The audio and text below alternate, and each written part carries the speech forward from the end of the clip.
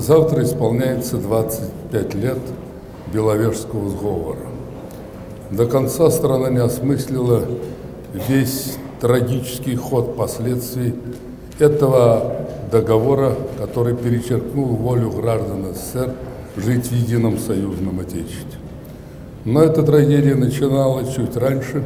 Хочу вам напомнить, что в марте 90 -го года здесь, рядом в колонном зале Дома Союзов, состоялось собрание представителей трудовых коллективов Москвы, которые избирали депутатов Верховного Совета РСФСР.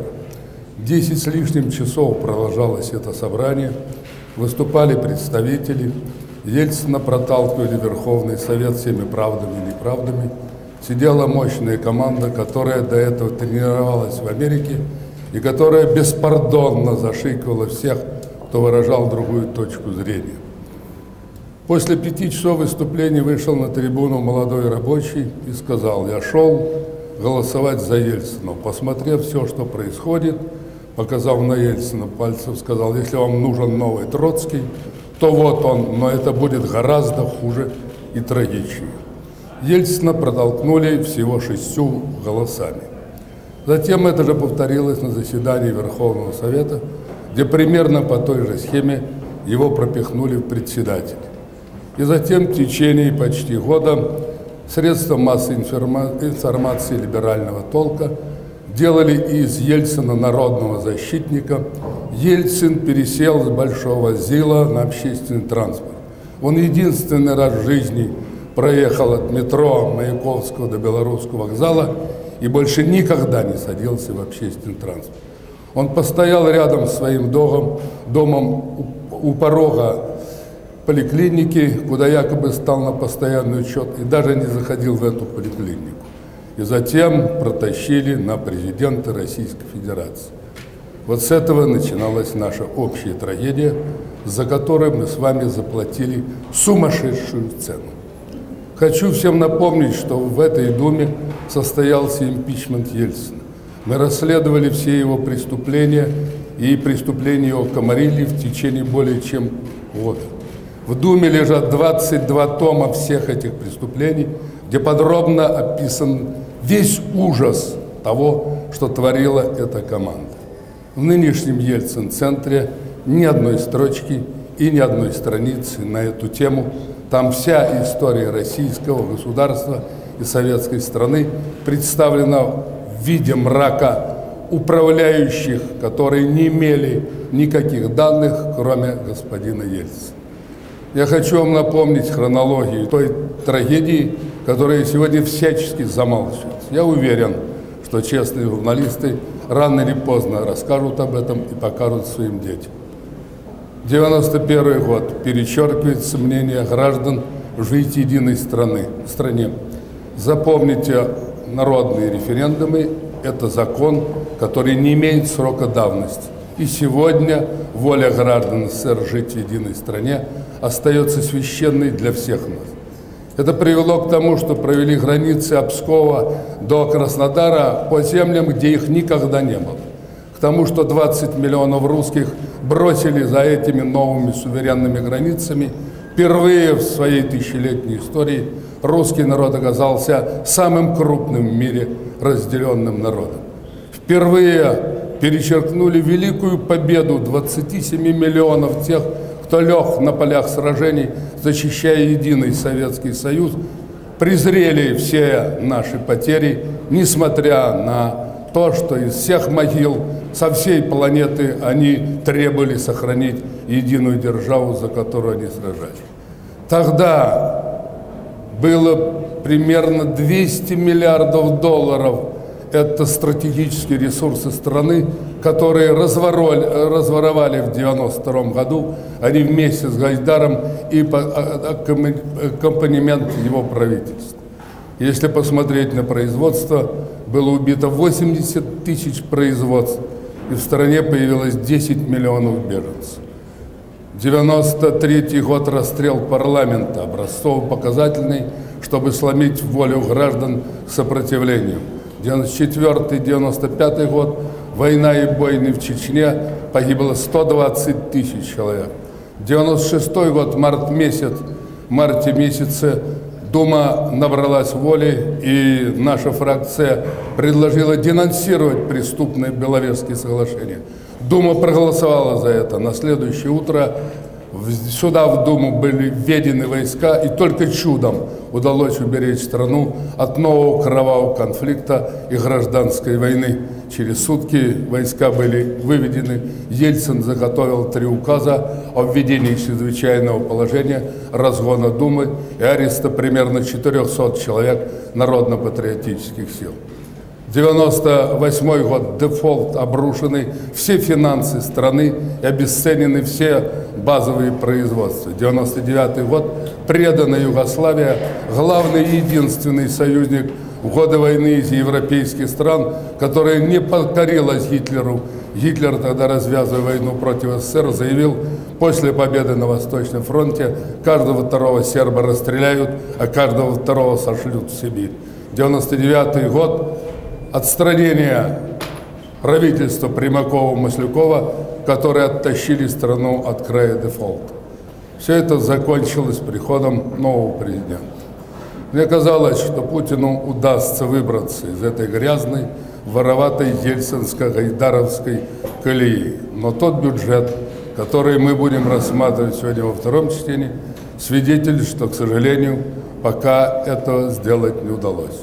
Хотя президент послания ставит задачу выйти через два года на темпы развития экономики на уровне мировых, тем не менее в бюджете нет ни одного показателя, который бы об этом свидетельствовал. Я вам подробно рассказал эту трагическую историю, потому что материалы импичмента сегодня просятся на страницы газет и на экраны телевидения. Нам рассказывают о Ближнем Востоке, о Сирии, о Трампе, о всем на свете, об Украине без конца. Но почему бы не провести честное исследование этой преступной политики лихих 90-х и заявить всем, не может функционировать на теле страны так называемый Ельцин-центр. Уже и Никита Михалков показал пять раз, во что это убожище превращается и каким образом новое поколение людей, детей, прежде всего молодежи, отравляет этот центр где нет ни одного слова правды о русской, советской, народной истории, где, по сути дела, перечеркиваются великие завоевания всех государей, которые строили и развивали великую державу. Почему бы снова не поднять материалы выступлений депутатов? Самое удивительное, что все без исключения фракции в ходе двух дней импичмента, который проходил в мае 1999 года, все без исключения сказали «преступник». Надо обязательно наказывать и отстранять от должности. При голосовании спасли Ельцина ЛДПР, Жириновский вместе с своими соколами здесь требовал, чтобы все поддержали Ельцина. От его фракции только один депутат отдал бюллетени нам и сказал «голосуйте вы видите, стоят, охраняют урну, смотрят, чтобы никто к ней близко не подошел. По Думе бегали всякие мерзавцы, предлагали 20 тысяч долларов за каждый бюллетень. Пять бюллетеней было, судили по пяти позициям. По Беловежью, по расстрелу парламента, по Чечне, по разрушению базовых отраслей производства, по русофобии, по уничтожению военно-промышленного комплекса вопрос по Чечне не добрал всего 17 голосов. 283 депутата сказали, преступник надо отдавать под суд. Я не злобный человек, но я хочу, чтобы страна знала правду. И отмечая 25 лет своей трагедии, помнила все нынешние наши беды, и экономические, и социальные, и моральные, и душевные, и геополитические – все унижение, которое мы испытываем, санкции, растут оттуда. Когда Ельцин из Беловежья позвонил Бушу и доложил, что они на троих разделили великую страну, те задумались, потому что до этого Ельцин приезжал к ним. Они поселили его в стеклянном доме. В этом доме было все видно и слышно. Все шкафы наполнились спиртными напитками. И когда увидели, как вся эта команда нажралась до чертиков, то сами закачали головой и испугались, как бы ядерный чемоданчик не попал в такие руки. Он к несчастью и трагедию тогда попал. Но та трагедия, к сожалению, продолжается сегодня. Кровопролитием на Донбассе, разрушением Югославии, разрушением и уничтожением древнейшей культуры в Ираке, уничтожением Ливии и попытками раздавить нашего стратегического союзника на Ближнем Востоке Сирии. Оттуда растут наши беды. И пока мы не осознаем, что надо подвести жирную черту под этой преступной политикой, надо подвести черту под так называемым трагическим десятилетием, лихими 90-ми.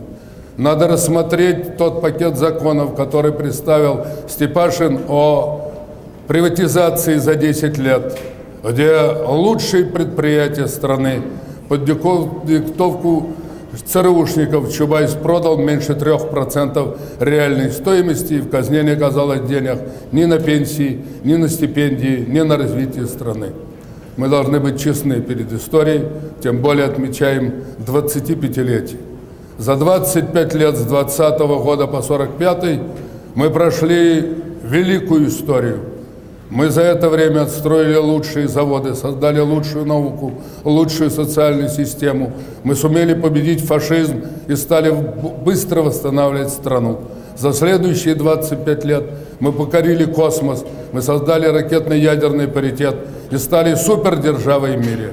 За эти 25 лет мы пока корчимся в тех границах, которые начертало преступное Беловежское соглашение – мы пока не вылезли из социального и финансово-экономического кризиса. Мы по-прежнему с тревогой смотрим завтрашний день. Но чтобы уверенно смотреть, надо сегодня выговаривать правду и реально подводить итоги того жуткого и страшного преступления, которое было совершено в Беловежье.